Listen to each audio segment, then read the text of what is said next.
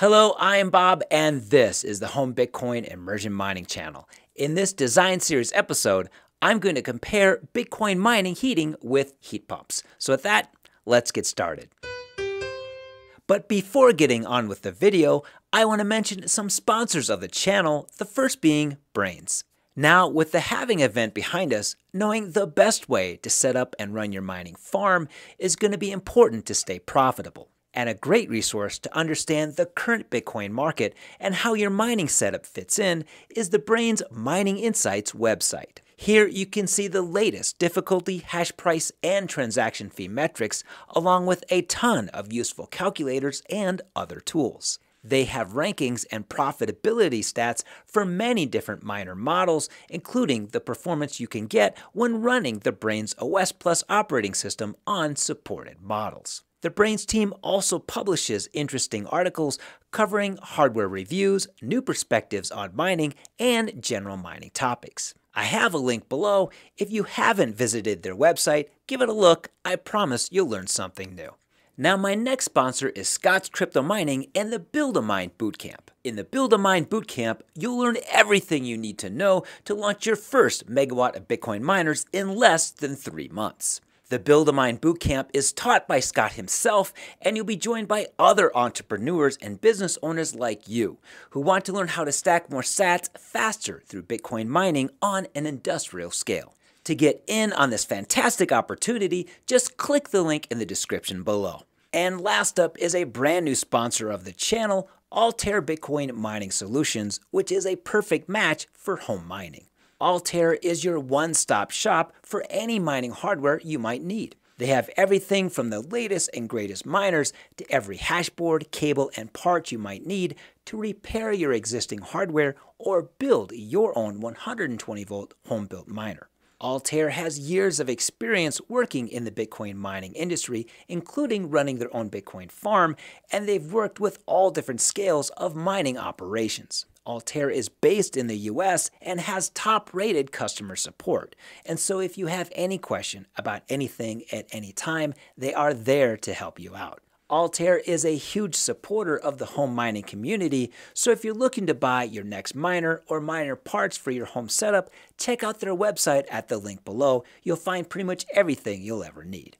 Okay, so when it comes to heating your house, your water, or your pool, there are a lot of options out there. And in past episodes, I've covered how to use Bitcoin miners as a heat source for these home uses. I have a link above to my design playlist where you can learn more about each of these different ways you can use Bitcoin mining heat around your home. But one of the other options available for home heating is to use a heat pump. Heat pumps have been growing in popularity in recent years, and they are often desired since they are a more economical way to use electricity for home heating for those interested in avoiding fossil fuel heat sources. And so the big question to ask is how do heat pumps compare with Bitcoin mining? They both use electricity to provide heating, so what are the big differences? To answer this question, the first step is to understand a little more about what a heat pump is and how it works. And I think the easiest way to understand heat pumps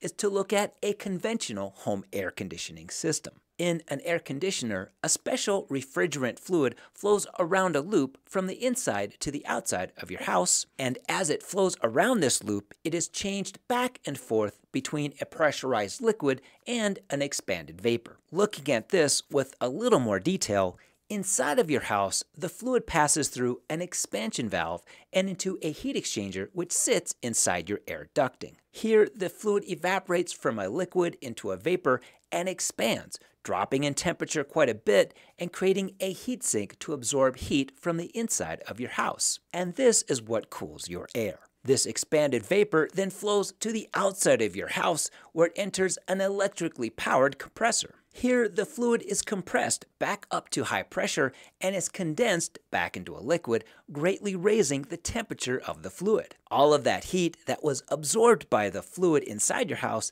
is now given off into the outside air. And so, taking all of this together, an air conditioner is just a device that pumps fluid around a loop. That fluid absorbs heat inside your house and gives off heat outside your house, with the compressor and expansion valve doing all the work. With that in mind, a heat pump is just an air conditioner with the components in the wrong places. The fluid evaporator is placed outside, sucking heat in, and the condenser coil is placed inside, giving off heat. And this is why heat pumps can claim really high efficiencies over normal electric heating, and this is the big difference between using Bitcoin miners to heat a home and using a heat pump. In Bitcoin miner heating, electrical energy is turned directly into heat whereas in a heat pump, the electrical energy is used to move a fluid around a loop, and the fluid itself transfers heat from the outside to the inside of the house. Now, a key metric used to characterize heat pumps is called the coefficient of performance, or COP, and it is simply the ratio of how much heat can be transferred from outside to inside your house to how much power it takes to circulate that fluid. And the COP for pretty much every heat pump is much larger than 1, sometimes having values above 5. Meaning, from a strict electrical energy use standpoint, a heat pump is almost always going to do a better job of using electricity to heat your home. So, if a heat pump is always more electrically efficient than Bitcoin mining heat, does that mean that Bitcoin mining at home is a bad idea? Well, I don't think so. And the reason why is that energy efficiency isn't the only thing that matters. One of the major factors every homeowner is really interested in when considering a home heating system is cost of operation. And this is where using Bitcoin mining heat has a massive advantage. With a heat pump, there is no discount or return on the electricity used to heat your home. You pay for the electricity to run the heat pump and you get a heated home, but that's it. In contrast, with Bitcoin miner heat, every kilowatt of power you use gives you back the one and only, truly scarce, unconfiscatable, and uncensorable money that is Bitcoin, and you get it in non KYC sats. Now, if you're a die-hard Bitcoiner, that may be reason enough to use Bitcoin Heat. But for those of you interested in the trade offs in dollar terms, it helps to dig into the details on miner efficiency and hash price. In a previous episode, I've covered the basics of miner efficiency and Bitcoin hash price, explaining what they are and where they come from. So I'm not going to recover them here, but if you want to refresh your understanding, I have a link above to that episode. Now, when using Bitcoin miners to heat your home, if your miners are relatively new and your cost of electricity is low enough that your mining is profitable on its own, the cost differences between Bitcoin mining heat and using a heat pump is pretty obvious. Heat pumps cost you money, and Bitcoin miner heat makes you money.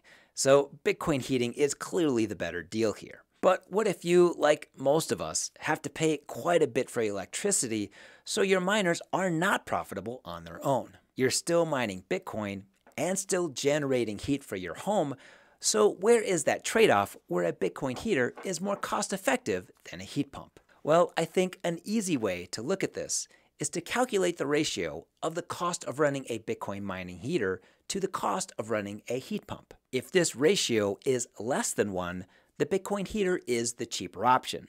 And if the ratio is greater than 1, then the heat pump is cheaper. Now, I'm not going to bore you with the math used to create this video. Instead, here's a quick view. Feel free to pause if you're interested in some algebra, but here's the result. The Bitcoin to heat pump cost ratio depends on the coefficient of performance of the heat pump, the efficiency of your miner in joules per terahash, the expected hash price in dollars per terahash per second per day, and your cost of electricity in dollars per kilowatt hours. So if you know the performance of your heat pump and your cost of electricity, you can calculate the needed miner efficiency and hash price to break even. To show you an example of how this works, here's the break-even plot comparing a heat pump with a coefficient of performance of 5 to a couple popular miner models. The way to understand this plot is if the cost of your electricity and the current Bitcoin hash price result in a point above this line, a heat pump will be the cheaper option to operate. But if the point is lower than this line, Bitcoin mining heat will be the cheaper option. And what this shows is that for a very high performing heat pump and an average performing miner like the S19j Pro, Bitcoin mining is going to be the cheaper option for most electricity costs and hash prices. And if you use one of the newer, more efficient mining models out there, like the S21, Bitcoin mining is almost always the cheaper option. Now, this plot assumed a high COP value. I've put additional plots at the end of the video for other lower COP values. And in those plots, you'll see that as COP drops, Bitcoin miners increasingly become the more economical option. Now, for real heat pumps, the COP value isn't constant. The heat pump efficiency and related COP value can drop quite a bit during cold weather when you need the heat the most. In contrast, Bitcoin heating isn't affected by the cold.